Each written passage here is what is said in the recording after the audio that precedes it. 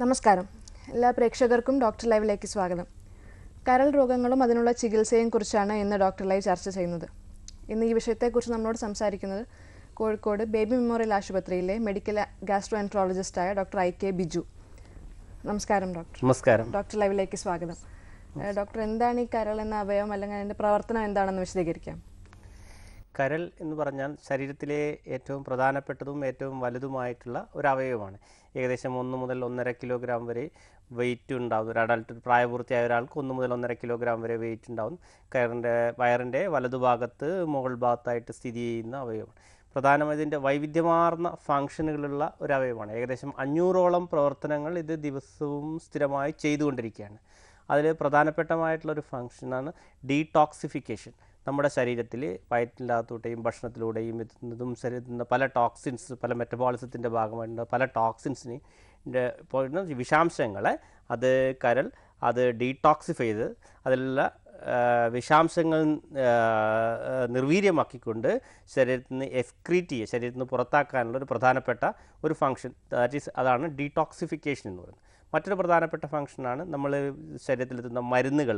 മരുന്നുകളുള്ള അതിന്റെ ചില മരുന്നുകൾ ശരീരത്തിൽ എത്തുന്ന സമയത്ത് അത് ആക്റ്റീവ് ആയിരിക്കില്ല അതിനെ ആക്റ്റീവാക്കി മാറ്റാനും ഇതേമാതിരി ചില ശരീരത്തിൽ മരുന്നുകൾ അതിന്റെ പ്രവർത്തനം കഴിഞ്ഞു കഴിഞ്ഞാൽ ഉണ്ടാവുന്ന ടോക്സിൻസിനെ എക്സ്ക്രീറ്റ് ചെയ്യാനുള്ള ഒരു പ്രധാനപ്പെട്ട ഫങ്ഷനാണ് മറ്റൊരു പ്രധാനപ്പെട്ട ഫങ്ഷനാണ് ശരീരത്തിന് പല പല ആവശ്യമായിട്ടുള്ള പ്രോട്ടീൻസ് ബ്ലഡ് ക്ലോട്ടിംഗ് ഫാക്ടേഴ്സ് എന്നതായിട്ടുള്ള സിന് ഉണ്ടാക്കാനുള്ള അതായത് സിന്തറ്റിക് ഫങ്ഷൻ. ഇതും പിന്നെ പ്രധാനമായിട്ടുള്ളൊരു ഫങ്ഷനാണ് നമ്മുടെ ശരീരത്തിലുള്ള നമ്മുടെ ഭക്ഷണം കഴിക്കുന്ന പ്രോട്ടീൻ അതായത് മാംസ്യം അന്നജം കൊഴുപ്പ് ഇതിന്റെയൊക്കെ മെറ്റബോളിസത്തിനുണ്ടായിരുന്നുള്ള ഒരു പ്രധാനപ്പെട്ട ഫങ്ഷനുണ്ട്. ശരീരത്തിലെ പിത്തം പിത്തം ഉൽപ്പാദിപ്പിക്കുന്നതും കരൾ വഴി. ഇങ്ങനെ ഏകദേശം വൈവിധ്യമാർന്ന അഞ്ഞൂറോളം ഫങ്ഷനുകൾ കരൾ ചെയ്തുകൊണ്ടിരിക്കുന്നുണ്ട്. ഹലോ. Hello madam. ഡോക്ടർ ലൈവിലേക്ക് സ്വാഗതം. ആരാ സംസാരിക്കുന്നത്? അവിടെ ഞാൻ ആ, പത്തനംതിട്ടയാണ് ചോദിച്ചോളൂ ആ മാഡം എന്റെ വൈഫിന് ഇപ്പൊ ഡെലിവറി കഴിഞ്ഞിട്ട് സെവൻ മന്ത്സ് ആയി. ഇപ്പൊ പിന്നെ എൽ എസ് ടി ചെക്ക് ചെയ്തപ്പോ ആൽക്കൈൻ ഫോസ്ഫേറ്റ് കുറയാണ് ഇപ്പൊ ഉണ്ട്. അത് കുറിച്ച് അറിയാനായിരുന്നു. നമസ്കാരം. ഈ ആൽക്ലൈൻ ഫോസ്ഫറ്റ് ഡെലിവറി കഴിഞ്ഞ് ഏഴു മാസമായി എന്നല്ലേ പറഞ്ഞത്? അതെ അതെ. സാധാരണഗതിയിൽ പ്രഗ്നൻസി കഴിഞ്ഞു കഴിഞ്ഞാൽ ഒരു മൂന്നാഴ്ച വരെ ഒരു ആൽക്ലൈൻ ഫോസ്ഫറ്റേസ് കൂടി നിൽക്കുന്ന ഒരു അവസ്ഥയുണ്ട് ഈ ഏഴു മാസമായിട്ടും ആൽക്ലൈൻ ഫോസ്ഫറ്റേസ് കൂടി നിൽക്കുന്നുണ്ടെങ്കിൽ എന്തെങ്കിലും കാരണമുണ്ടോ എന്ന് നോക്കേണ്ടതുണ്ട്. എന്താണ് ഈ ആൽക്ലൈൻ ഫോസ്ഫറ്റേസ് ചെക്ക് ചെയ്യാനുള്ള കാരണം? ചെക്ക് ചെയ്യാൻ ഡെലിവറി പ്രഗ്നൻസി ടൈമിൽ ബിലുറുബിൻ കാണിച്ചായിരുന്നു. അപ്പം ദേഹത്ത് മൊത്തം ചൊറിച്ചിലൊക്കെ ആയിരുന്നു. ചൊറിച്ചിലായതുകൊണ്ട് എഫ് ചെക്ക് ചെയ്തപ്പോ ബിലുറുമിൻ കൂടുതൽ S T B T S T O T കൂടുതൽ ആൾക്കൈൻ ഫോസ്ഫേറ്റും അപ്പൊ കൂടുതലായിരുന്നു. അപ്പൊ ഡോക്ടർ കുഴപ്പമില്ല പ്രഗ്നൻസ് ടൈമിൽ അങ്ങനെ ഉണ്ടാവുമെന്ന് പറഞ്ഞു വിടുവായിരുന്നു. അതെ അതെ അപ്പോൾ ഉം. ഇപ്പോൾ ഈ ആൽക്ലൈൻ ഫോസ്ഫേറ്റ് സ്ഥിരമായി കൂടി നിൽക്കുന്നുണ്ട് കാരണങ്ങൾ എന്താണെന്ന് അന്വേഷിക്കുന്നുണ്ട്. പ്രഗ്നൻസി സൈമിലിൽ കോളിസ്റ്റേസിസ് ഓഫ് പ്രഗ്നൻസി അല്ലെങ്കിൽ ഫാറ്റി ലിവർ ഓഫ് പ്രഗ്നൻസി എന്ന സമയങ്ങൾ എന്ന അവസ്ഥകളിൽ ആൽക്ലൈൻ ഫോസ്ഫേറ്റേസും എസ് ജി പി ടിയും കൂടി നിൽക്കുന്നതായിട്ട് കാണാറുണ്ട്. പക്ഷേ ഈ പ്രഗ്നൻസി കഴിഞ്ഞു ഏഴ് മാസം വരെ നിൽക്കുന്നതുകൊണ്ട് കൃത്യമായ കാരണങ്ങൾ ചെയ്യ നോക്കേണ്ടതുണ്ട്. ഈ ആൽക്ലൈൻ ഫോസ്ഫേറ്റ് ചിലപ്പോൾ നമ്മുടെ ഈ ലിവർ അല്ലാത്ത പല കാരണങ്ങൾ കൊണ്ടും പല അവയവങ്ങളും ആൽക്ലൈൻ ഫോസ്ഫേറ്റ് ഉൽപ്പാദിപ്പിക്കുന്നു കാരണം നമ്മുടെ bone intestines W B C kidney ഇങ്ങനെ പല അവയവങ്ങളിൽ നിന്നും ആൽക്ലൈൻ ഫോസറ്റസ് ഉൽപ്പാദിപ്പിക്കുന്നുണ്ട്. അത് ലിവറിൽ നിന്ന് ഉത്ഭവിച്ചതാണോ മറ്റ് സ്ഥലങ്ങളിൽ നിന്ന് ഉത്ഭവിച്ചതാണോ എന്നറിയാൻ വേണ്ടി കൂടുതൽ ഗാമ ഗ്ലൂട്ടമിൽ ട്രാൻസ്ഫറേസ് അൾട്രാസൗണ്ട് എന്നീ ടെസ്റ്റുകൾ ചിലപ്പോൾ എം ആർ കൊളാൻജിയോഗ്രാം ഇത്തരം ടെസ്റ്റുകൾ ചെയ്യേണ്ടത്. നിങ്ങൾ എന്ത് തന്നെയായാലും എത്രയും പെട്ടെന്നൊരു ഗ്യാസ്ട്രോ എൻട്രോളജിസ്റ്റിനെ സമീപിച്ചുകൊണ്ട് കൂടുതൽ ചികിത്സകളും കൂടുതൽ ടെസ്റ്റുകളും ചെയ്തു നോക്കേണ്ടത് ആവശ്യമാണ്. വിളിച്ചതിന് നന്ദി. ഒരു കോളും കൂടി ഉണ്ട് ഡോക്ടർ. ഹലോ ഹലോ ഡോക്ടർ ലൈവിലേക്ക് സ്വാഗതം. ആരാ സംസാരിക്കുന്നത്? ഞാൻ സാലി എന്ന് പറയുന്ന ഒരു വ്യക്തിയാണ് കായംകുളത്തു നിന്നാണ്. ചോദിച്ചോളൂ. ഡോക്ടർ എന്റെ ലിവർ ഒരു ഒരു സ്കാനിങ്ങിലൂടെ മനസ്സിലായി ഫാറ്റി ലിവർ ആണെന്ന് ഇപ്പൊ വീണ്ടും യൂട്രസിന് ഒരു സ്കാൻ ചെയ്തപ്പം അമ്മനോട് ഡോക്ടർ പറഞ്ഞു എക്സസൈസ് ചെയ്യണം എക്സസൈസ് ചെയ്യണം ഫുഡ് കൺട്രോൾ ചെയ്യണമെന്ന് പറഞ്ഞു. ഞാൻ കുറച്ചൊക്കെ ചെയ്യുന്നുണ്ട്. ഇപ്പൊ വീണ്ടും കഴിഞ്ഞ മാസം ഒരു സ്കാനിങ്ങിൽ liver fifteen point five centimetre borderline size കണ്ടു. ഷോസ് റൈസ്ഡ് എക്സോ ടെക്സ്ചർ എന്നും കണ്ടു. എന്താ ഡോക്ടർ ചെയ്യേണ്ടതെന്ന് പറഞ്ഞാൽ ഉപകാരമായിരുന്നു. ഈ നിങ്ങൾക്കുള്ളത് ഫാറ്റി ലിവർ എന്ന് പറഞ്ഞിട്ടുള്ള ഒരവസ്ഥയാണ്. ഇത് മുപ്പത് വയസ്സ് കഴിഞ്ഞ് കഴിഞ്ഞാൽ ഒരു നല്ലൊരു ശതമാനം സ്ത്രീകൾക്കും അൾട്രാസൗണ്ട് ചെയ്ത് കഴിഞ്ഞാൽ പ്രത്യേകിച്ച് കുറച്ച് വണ്ണവും കുറച്ച് തടി കൂടുതലുള്ള ആളുകൾക്ക് എക്സസൈസ് കുറഞ്ഞ ആളുകൾക്കൊക്കെ നല്ലൊരു ശതമാനം ആൾക്കാർക്കും ഈ ഫാറ്റി ലിവർ ഉണ്ടാവും. ഈ ഫാറ്റി ലിവർ അയസച്ച് പ്രോബ്ലം ഉള്ളതല്ല പക്ഷേ ഫാറ്റി ലിവർ ഇങ്ങനെ കുറേ നാളുകൾ നിൽക്കുന്നതിനനുസരിച്ച് ലിവറിന്റെ അകത്ത് നീർക്കെട്ടലുകൾ അതായത് ഫാറ്റി ഹെപ്പറ്റൈ സ്റ്റിയേറ്റോ ഹെപ്പറ്റൈറ്റിസ് എന്ന് പറഞ്ഞിട്ടുള്ള ഒരവസ്ഥയിലേക്ക് പോകുന്നു. അത് ഉണ്ടോ എന്നറിയണം. നിങ്ങളുടെ liver function test S G P T എന്ന് പറയുന്ന ടെസ്റ്റ് കൂടുതലാണോ എന്ന് നോക്കണ്ട. S G P T persistently abnormal ആണ് എങ്കിൽ നിങ്ങൾക്ക് കൂടുതൽ ഇന്റർവെൻഷൻസ് ആവശ്യമുണ്ട്. ഏറ്റവും പ്രധാനമായിട്ട് ചെയ്യേണ്ടത് വെയിറ്റ് കുറക്കുക എക്സ ഡെയിലി എക്സസൈസ് ചെയ്യുക നിങ്ങളുടെ ഭക്ഷണത്തിന്റെ അകത്തുള്ള അന്നജം അതായത് കാർബോഹൈഡ്രേറ്റിന്റെയും കൊഴുപ്പിന്റെയും അംശങ്ങൾ കുറക്കുക പിന്നെ ഇതിങ്ങനെ വരാനുള്ള കാരണങ്ങൾ എന്തൊക്കെയുണ്ട് എന്നും കൂടി നോക്കേണ്ടതാണ്. ആറുമാസമായിട്ട് ഫാറ്റി ലിവർ പെർസിസ്റ്റ് ചെയ്യുന്നുണ്ട്. ഇത്തരം കാര്യങ്ങൾ നോക്കേണ്ടതാണ്. കാര്യമായിട്ടും എന്റെ എന്റെ ഫാമിലിയിൽ എന്റെ ഫാമിലിയിൽ ഫാറ്റി ലിവർ ഉണ്ട്. എന്റെ മൂത്ത ബ്രദർ ഫാറ്റി ലിവർ ആയിട്ട് ഒന്നര വയസ്സിൽ മരിച്ചാണ്. ഇപ്പം എന്റെ ഒന്നര- കസിൻ ബ്രദർ കസിൻ ബ്രദറും കഴിഞ്ഞ മാസം ഫാറ്റി ലിവറിൽ ലിവർ ട്രാൻസ്പ്ലാന്റേഷൻ നടത്തി ഡെത്ത് സംഭവിച്ചിട്ടുണ്ട്. ഓ അപ്പോൾ നിങ്ങളുടെ ഫാമിലിയിൽ സിറോ നോൺ ആൽക്കഹോളിക് സ്റ്റേറ്റോ ഹെപ്പറ്റൈറ്റിസ് എന്ന് പറയുന്ന ഒരു അവസ്ഥ സിറോസ് ഫാറ്റ് സിറോസിലേക്ക് ലീഡ് ചെയ്യുന്ന ഒരു അവസ്ഥ ഉണ്ടതായിട്ടാണ് തോന്നുന്നത്. അപ്പോൾ നിങ്ങളുടെ വെയ് ഈ thyroid function test sugar blood sugar cholesterol viral markers hepatitis B hepatitis C പിന്നെ സിറോസിസ് വരാനുള്ള ബാക്കി കാര്യങ്ങൾ ശരീരത്തിലെ കോപ്പറിന്റെയും അയണിന്റെയും അംശങ്ങൾ ഇത്തരം കാര്യങ്ങൾ നോക്കേണ്ടത്. അതൊരു ഗ്യാസ്ട്രോൻട്രോളജിസ്റ്റിനെ സമീപിച്ച് ടെസ്റ്റ് ചെയ്യേണ്ടതാണ്. നിങ്ങൾക്ക് ചെയ്യാനുള്ളത് ഏറ്റവും പ്രധാനമായിട്ടും മോഡിഫയബിൾ റിസ്ക് ഫാക്ടർ അതായത് നമുക്ക് മാറ്റിയെടുക്കാൻ പറ്റുന്ന റിസ്ക് ഫാക്ടേഴ്സ് മാറ്റേണ്ടത്. അതിന് ഏറ്റവും പ്രധാനം എക്സസൈസ് ചെയ്യുക പക്ഷേ വെയിറ്റ് കുറക്കുക. നിങ്ങളെങ്ങനെ തടി കൂടുതലുള്ള ആളാണോ? ആവറേജ് അറുപത് സിക്സ്റ്റി എയ്റ്റ് എത്ര വയസ്സാണ്? ഫിഫ്റ്റി ടു ആ അപ്പം വെയിറ്റ് കുറച്ച് കൂടുതലുള്ളതായിട്ടാണ് തോന്നുന്നത്. അപ്പം വെയിറ്റ് ഒരു അഞ്ചാറ് കിലോ കുറഞ്ഞു കഴിഞ്ഞ് കഴിഞ്ഞാൽ നല്ലൊരു ഗുണം ഉണ്ടാവാൻ സാധ്യതയുണ്ട്. പിന്നെ എക്സസൈസ് ചെയ്യേണ്ടതുണ്ട്.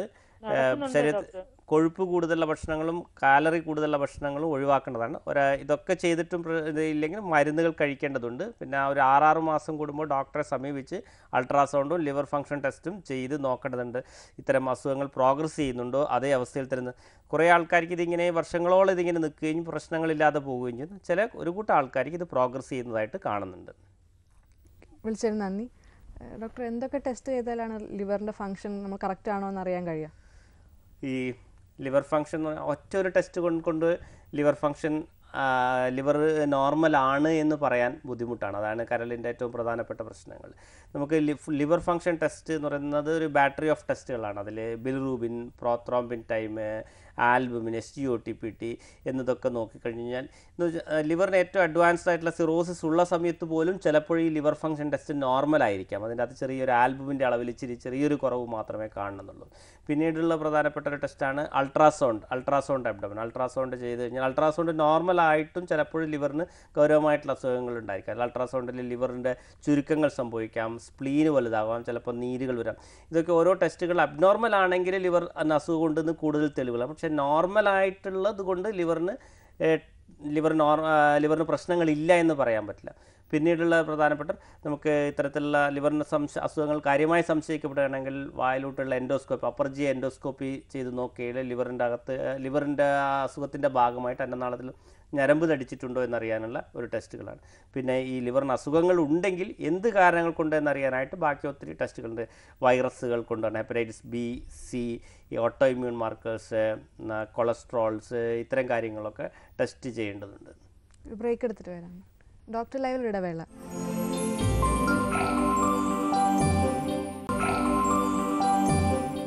ഡോക്ടർ ലൈവ് തുടരുന്നു. ഡോക്ടർ നമുക്കൊരു കോൾ ഉണ്ട് ഹലോ? ഹലോ? ഡോക്ടർ ലൈവിലേക്ക് സ്വാഗതം. ആരാ സംസാരിക്കുന്നത്? ഞാൻ തൃശ്ശൂരിൽ വിളിക്കുന്ന ജോയിൻ ഡോക്ടറോട് ചോദിച്ചോളൂ. പറയൂ.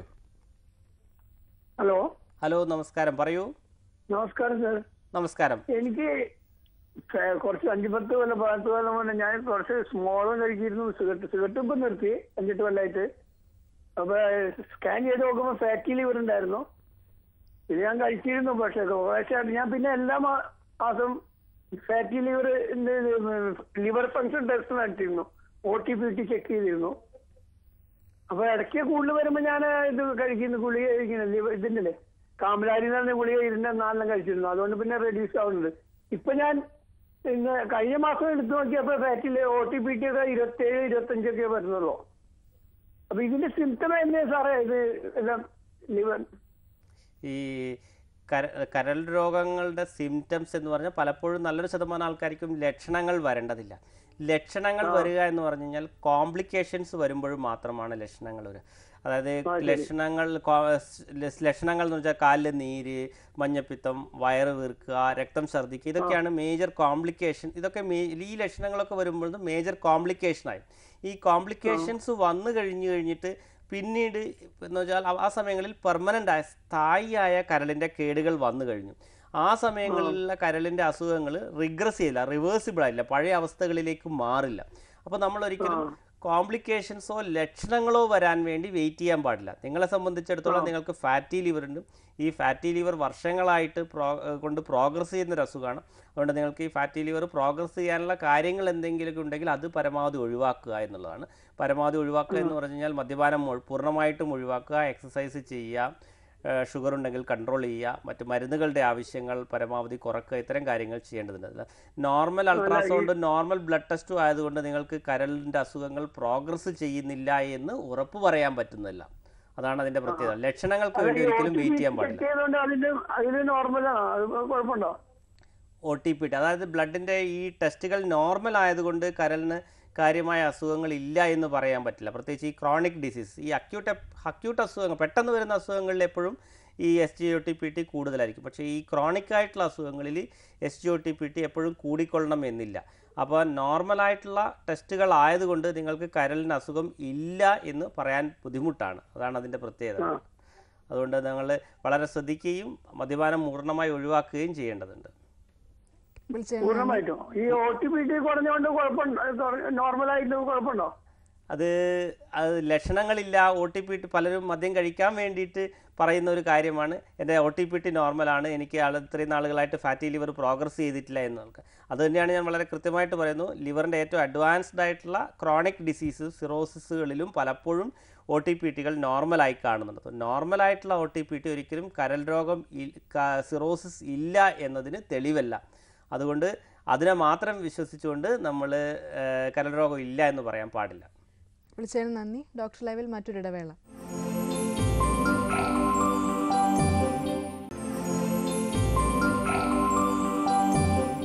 ഡോക്ടർ ലൈവ് തുടരുന്നു. ഡോക്ടർ ഈ മദ്യപാനമാണ് കരളിനെ കൂടുതലായി ബാധിക്കുന്നത്. മറ്റെന്തൊക്കെ കാരണങ്ങൾ കൊണ്ടാണ് കരൾ രോഗങ്ങൾ ഉണ്ടാവുന്നത്? കരൾ രോഗം അതായത് ക്രോണിക് കരൾ രോഗ ക്രോണിക് ലിവർ ഡിസീസസ് ഉണ്ടാവാനുള്ള ഒരു പ്രധാനപ്പെട്ട ഒരു കാരണം എന്ന് മാത്രമേ മദ്യത്തിനെ പറ്റി നമുക്ക് പറയാൻ പറ്റുള്ളൂ. അതുപോലെ നൂറാൾക്ക് കരൽ രോഗങ്ങൾ ലിവർ സിറോസിസ് വരുന്നുണ്ടെങ്കിൽ അത് അമ്പതാളിൽ കൊണ്ട് മാത്രം അമ്പതാളിൽ മാത്രമേ അമിതമായ മദ്യപാനങ്ങൾ കൊണ്ട് വരുന്നുള്ളൂ. ഇപ്പോൾ മദ്യം ഇതുവരെ കഴിക്കാത്ത ആൾ സ്ത്രീകളിലും കുട്ടികളിലും കൂടി കരൽ രോഗങ്ങൾ കാണപ്പെടുന്നുണ്ട്. അപ്പോൾ ഇതല്ലാതെയുള്ള പ്രധാനപ്പെട്ട ഒരു കാരണമാണ് ഈ കുറേ വർഷങ്ങളായിട്ടുള്ള പ്രമേഹ രോഗം കുറേ വർഷങ്ങളായി പ്രമേഹ രോഗം ഉണ്ടാകുന്ന സമയത്ത് എന്താ സംഭവിക്കുന്നത്? ലിവറിന്റെ അകത്തേക്ക് ഇങ്ങനെ ഫാറ്റ് അക്യുമുലേറ്റ് ചെയ്യും. ഈ ഫാറ്റുകൾ പിന്നെ വർഷങ്ങളായി നിന്നിട്ട് സ്റ്റേറ്റോ ഹെപ്പറ്റൈറ്റിസ് ക്രോണിക് ഹെപ്പറ്റൈറ്റിസ് എന്നുള്ളൊരു അവസ്ഥയിലേക്കും അതൊരു cryptogenic cirrhosis non alcoholic steatohepatitis NASH എന്ന് പറയുന്ന സിറോസിസിന്റെ അകത്തേക്ക് മാറുകയും പിന്നീട് ലിവർ ക്യാൻസർ ആവുകയും ചെയ്യുന്ന ഒരു അവസ്ഥയുണ്ട്. ഇത് നമ്മുടെ നാട്ടിൽ വളരെ കൂടുതലായിട്ട് കണ്ടുവരുന്ന ഒരവസ്ഥയാണ്. നമ്മുടെ ജീവിത രീതികളിൽ വന്ന മാറ്റങ്ങൾ എക്സസൈസ് ഇല്ലായ്മ ഇതൊക്കെ കൊണ്ട് ഈ അസുഖം കൂടുതലായി വരുന്നു. പിന്നെയുള്ള ഒരു പ്രധാനപ്പെട്ട ഒരു കാരണം ചില വൈറസുകൾ ബ്ലഡിലൂടെ പകരുന്ന ചില വൈറസ് ഹെപ്പറ്റൈറ്റിസ് ബി സി എന്ന ഇത് ഹെപ്പറ്റൈറ്റിസ് ബി സി ശരീരത്തിൽ കയറി കഴിഞ്ഞ് കഴിഞ്ഞാൽ ഏകദേശം അഞ്ച് പത്ത് വർഷമൊക്കെ കഴിഞ്ഞിട്ടേ ഇതിന്റെ പ്രശ്നങ്ങൾ ഉണ്ടാവുള്ളൂ. ലിവർ സിറോസിസും കരൽ കരൽ ക്യാൻസറുകളുമായി മാറാറുണ്ട്. പിന്നെ ഉള്ളൊരു പ്രധാനപ്പെട്ട ഓട്ടോ ഇമ്മ്യൂൺ ഹെപ്പറ്റൈറ്റിസ് എന്ന് പറഞ്ഞാൽ അത് കൂടുതലായി സ്ത്രീകളിലും കുട്ടികളിലൊക്കെയാണ് ശരീരം തന്നെ ശരീരത്തിലെ ഓരോ അവയവങ്ങളെ ഫോറിൻ ആന്റിജൻ ആന്റി ആയിട്ട് റെക്കഗ്നൈസ് ചെയ്യും. അതിനെതിരെ തന്നെ ആന്റിബോഡികൾ ഉണ്ടാക്കിയിട്ടും അങ്ങനെ കരൾ അത് ടാർഗറ്റ് ചെയ്യപ്പെടുകയും കരലിന്റെ പിന്നെ കരലിന് ഓട്ടോ ഇമ്മ്യൂൺ ഹെപ്പറ്റൈറ്റിസ് ആയി വന്ന് പിന്നീട് അങ്ങനെ സിറോസിസ് ആയി മാറുകയും ചെയ്യുന്നു. മറ്റൊരു പ്രധാനപ്പെട്ട ഒരു കാരണം അമിതമായിട്ടുള്ള ചില ടോക്സിൻസ് ചില മരുന്നുകൾ. ഇപ്പോൾ മെത്തോട്രക്സേറ്റ് പോലുള്ള ചില മരുന്നുകൾ കുറേ നാളുകൾ കഴിച്ച് കുറേ ചില ഇൻഡി അനാവശ്യമായിട്ടുള്ള കൂടുതൽ നാളുകൾ ഒത്തിരി മരുന്നുകൾ പാരസെറ്റമോൾ വേദനാസംഹാരികളായ മരുന്നുകൾ ഇത്തരം മരുന്നുകൾ കഴിച്ചു കഴിഞ്ഞാൽ ചിലവർക്ക് കൂടുതൽ കുറേ നാളുകൾ കഴിയുമ്പോൾ ലിവറിന് കേടുകൾ വരുന്നതായിട്ട് കാണുന്നുണ്ട്. പിന്നെയുള്ള പ്രധാനപ്പെട്ട ഒരു കാരണമാണ് ശരീരത്തിന്റെ അകത്തുള്ള ഇരുമ്പിന്റെയും കോപ്പറിന്റെയും അംശങ്ങളിൽ വ്യത്യാസങ്ങൾ വന്നു കഴിഞ്ഞാൽ ചില വിൽസൺസ് ഡിസീസ് പിന്നെ ഹീമോക്രോമറ്റോസിസ് എന്നൊക്കെ പറയുന്ന അസുഖങ്ങൾ അതായത് ഇരുമ്പിന്റെയും കോപ്പറിന്റെയും അംശങ്ങളിൽ വ്യതിയാനം വരുന്നതുകൊണ്ട് ഉണ്ടാകുന്ന സിറോസിസുകളുണ്ട്. പിന്നെ തീരെ വ്യായാമക്കുറവുകൾ കൊണ്ട് ഉണ്ടാവുന്നത് തന്നെ മറ്റൊരു പ്രധാനപ്പെട്ട ഒരു കാരണമാണ്. കുറേ വർഷങ്ങളായിട്ട് ഫാറ്റ് അക്യുമുലേറ്റ് ചെയ്ത് അതിങ്ങനെ പ്രോഗ്രസ് ചെയ്ത് പ്രോഗ്രസ് ചെയ്ത്. പിന്നെ പല കാരണങ്ങളും നോക്കിക്കഴിഞ്ഞ് കഴിഞ്ഞാലും ഒരു നൂറാൾക്ക് അസുഖങ്ങൾ വരുന്നുണ്ടെങ്കിൽ ഒരു പത് പത്ത് മുതൽ പതിനഞ്ച് ശതമാനം ആൾക്കാർക്ക് കൃത്യമ കൃത്യമായൊരു കാരണം കണ്ടുപിടിക്കാൻ മാത്രം ശാസ്ത്രത്തിന്റെ വള ഇതുവരെ കണ്ടുപിടിക്കാൻ പറ്റില്ല. അത്തരം കാര്യങ്ങൾ നമ്മൾ ബ്രോഡായിട്ട് ക്രിപ്റ്റോജനിക് തനി തന്നെ വരുന്ന സിറോസിസ് എന്ന് പറയുന്നത്. വർഷങ്ങൾ കഴിയുമ്പോൾ അതിനുള്ള കാരണങ്ങൾ കണ്ടുപിടിക്കാൻ പറ്റും എന്ന് തന്നെയാണ് മനസ്സിലാക്കുന്നത്. പിന്നെയുള്ളൊരു പ്രധാനപ്പെട്ട ഒരു കാരണമാണ് ഈ ബഡ്ഷ്യാരിസ് അതായത് ലിവറിന്റെ അകത്തുനിന്ന് പോകുന്ന ഈ രക്തക്കൊഴലുകൾക്ക് ബ്ലോക്കുകൾ വന്നിട്ട് ലിവറിന് വരുന്ന ഒരു ക്രോണിക് ലിവർ ഡിസീസ് ഉണ്ട്. അതും അത് നമ്മുടെ കുറവാണ്. എന്നാലും അതും ഒരു പ്രധാനപ്പെട്ട കാരണമായിട്ട് കണക്കാക്കപ്പെടുന്നു. ഈ എല്ലാ അസുഖങ്ങൾക്ക് തുടക്കം ഫാറ്റ് ലിവർ ആണോ? ലിവറിനെ സംബന്ധിച്ച് എന്ത് ഇൻസൾട്ട് വന്നു കഴിഞ്ഞാൽ പെട്ടെന്ന് വരുന്നതാണെങ്കിലും ഡ്രഗ്സ് കൊണ്ടുവരുന്നതാണെങ്കിലും ഇൻഫെക്ഷൻസ് കൊണ്ടുവരുന്നതാണെങ്കിലും പോയ്സൺ കൊണ്ടുവരുന്നതാണെങ്കിലും ആൽക്കഹോൾ കൊണ്ടുവരുന്നതാണെങ്കിൽ എന്ത് അസുഖങ്ങൾ ലിവറിനെ ഇൻസൾട്ട് ചെയ്യപ്പെടുമ്പോൾ ലിവറിന്റെ കോശങ്ങൾ പ്രതികരിക്കുന്ന ഒരു അവസ്ഥയാണ് ഫാറ്റി ലിവർ ലിവറിന്റെ അകത്തേക്ക് ഫാറ്റ് അക്യുമുലേറ്റ് ചെയ്യുക. അതാണ് അതിന്റെ തുടക്കം ഉണ്ടാവുക. അത് ഒരു ഇപ്പോൾ നമ്മുടെ ഈ പറഞ്ഞ ടോക്സിൻസ് അല്ലെങ്കിൽ ഇൻഫെക്ഷൻസ് മാറുമ്പോൾ അത് ടോട്ടലി റിവേഴ്സിബിൾ ആയിട്ടുള്ള ഒരു അവസ്ഥയാണ് ഫാറ്റി ലിവർ എന്ന് പറയുന്നത്. നേരെ കുറച്ച് അതിങ്ങനെ ഈ പറഞ്ഞ കാര്യങ്ങൾ ഇപ്പോൾ ആൽക്കഹോൾ തുടർന്നുകൊണ്ടേയിരിക്കുമ്പോൾ അതിങ്ങനെ പ്രോഗ്രസ് ചെയ്ത് മറ്റ് അടുത്ത സ്റ്റേജ് ആൽക്കഹോളിക് ഹെപ്പറ്റൈറ്റിസ് സിറോസിസ് എന്ന അവസ്ഥകളിൽ അത് വർഷങ്ങളായിട്ടിങ്ങനെ. ഈ ആൽക്കഹോളിക് ഹെപ്പറ്റൈറ്റിസും ഒരു പരിധിവരെ റിവേഴ്സിബിൾ അതായത് പഴയ നിർത്തിക്കഴിഞ്ഞ് കഴിഞ്ഞാൽ ഈ പോയ്സൺ ശരീരത്ത് മാറിക്കഴിഞ്ഞ് കഴിഞ്ഞാൽ അത് റിവേഴ്സിബിളായി പഴയ അവസ്ഥയിൽ കരൽ കോശങ്ങൾ പഴയ അവസ്ഥയിലേക്ക് റീജനറേറ്റ് ചെയ്യപ്പെടുന്നതാണ്. എന്നാൽ പെർമനന്റ് ആയിട്ടുള്ള കേടുകൾ വന്നു കഴിഞ്ഞ് കഴിഞ്ഞാൽ അത് ഇറിവേഴ്സിബിൾ സ്റ്റേജിലേക്ക് പോകുന്നതായിരിക്കും. ഈ സിറോസിസിന് ഡോക്ടർ പറഞ്ഞു പല കാരണങ്ങളാണ്. സർ പലർക്കും ആൽക്കഹോളിക് സിറോസിസ് ആണെങ്കിലും ആൽക്കഹോൾ യൂസ് ചെയ്യാത്തവർക്ക് സിറോസിസ് വരുന്നുണ്ട്. അപ്പോൾ ഇതിനുള്ള ചികിത്സ എങ്ങനെയാണ്? സിറോസിസ് എന്ന് പറഞ്ഞ സിറോസിസ് എന്ന് പറഞ്ഞ ഒരു സ്റ്റേജ് എത്തിക്കഴിഞ്ഞ് കഴിഞ്ഞാൽ പിന്നെ അത് പെർമനന്റ് സ്ഥായിയായ കേടുകളാണ്. അപ്പോൾ നമ്മുടെ ചികിത്സയുടെ പ്രധാനപ്പെട്ട ഇത് ഇപ്പോഴത്തെ സ്റ്റേജ് എന്ത് എന്നുള്ളത്. സിറോസിസിന്റെ സ്റ്റേജുകളെ നമ്മൾ എ ബി സി ആയിത്തിരിക്കും. എ ചെറുത് എയിൽ നിന്ന് സിയിലേക്ക് മാറുമ്പോൾ അതിന്റെ സ്റ്റേജ് കൂടിക്കൂടി വരികയാണ്.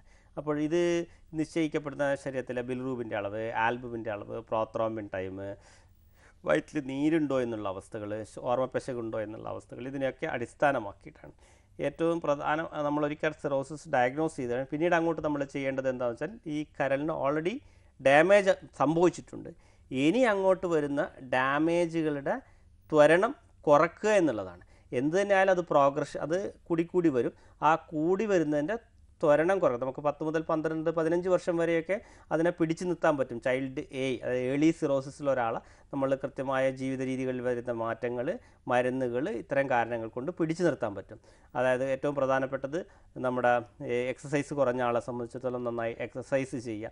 ഷുഗർ കൺട്രോൾ ഇല്ലെങ്കിൽ ഷുഗർ കൃത്യമായി കൺട്രോൾ ചെയ്യാം ഏറ്റവും പ്രധാനപ്പെട്ട കാര്യം ആൽക്കഹോൾ കഴിച്ചുകൊണ്ടിരിക്കുന്ന ഒരാൾക്ക് ആൽക്കഹോൾ നിർത്തിക്കഴിഞ്ഞു കഴിഞ്ഞാൽ വളരെ നല്ല ഇമ്പ്രൂവ്മെന്റ് കാണാറുണ്ട്.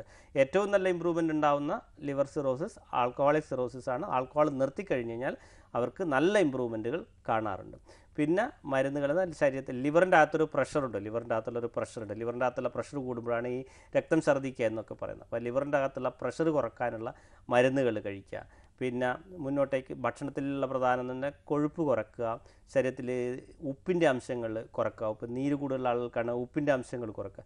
പിന്നെ പ്രധാനപ്പെട്ട ഒരു കാര്യം ശരീരം ഇത്തരം രോഗികൾ ഒരിക്കലും മലബന്ധം ഉണ്ടാവാൻ പാടില്ല. മലബന്ധം ഉണ്ടാകുന്ന സമയത്ത് അവർക്ക് ഓർമ്മ പെശകിലേക്ക് പോകാറുണ്ട്. എൻകെഫലോപ്പതി എന്ന് പറയുന്ന അവസ്ഥകളിലേക്കും.